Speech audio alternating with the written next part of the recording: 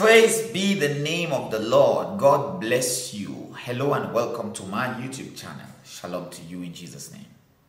If you are new here, my name is Samuel E. Molombe, the man God uses, and I welcome you today. Someone is finding the courage to explain to you while they went quiet. Somebody ghosted you. Well, chatting, discussing, smiling, texting back and forth, and all of a sudden, there was silence at the other end, and you didn't know why.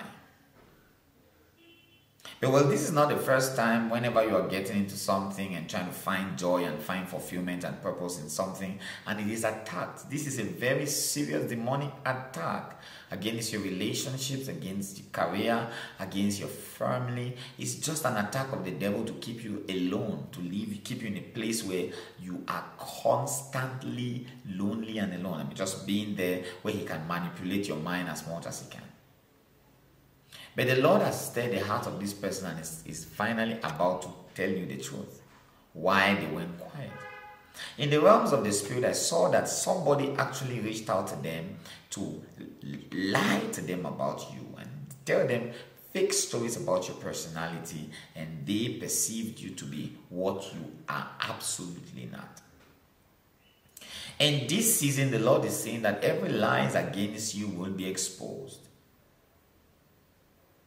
Those that have made it a habit to manipulate others' um, um, perspective of you and to make them lose interest in communicating or doing business with you, God says there is about to be a total exposure of their plans. It's going to expose them. It's going to expose them. It's going to expose what they have been doing.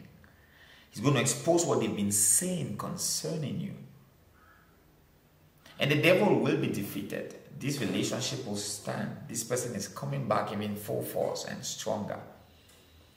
I believe God. I believe in the word of God. And I believe that God doesn't say a thing if he doesn't mean it. I believe that your cry and your, your desperation has reached heaven. And this word is coming as your confirmation that there will be a sudden reconnection, and this time there will be no disconnection. Keep your faith high.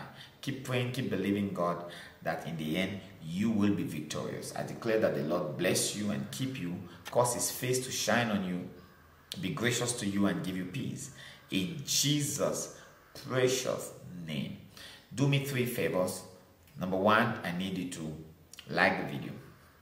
Number two, comment and let me know how this video resonates with you. And number three, share this link to somebody that might find this prophetic word interesting and you know, inspiring. The Lord bless you in Jesus' name. I love you and shalom.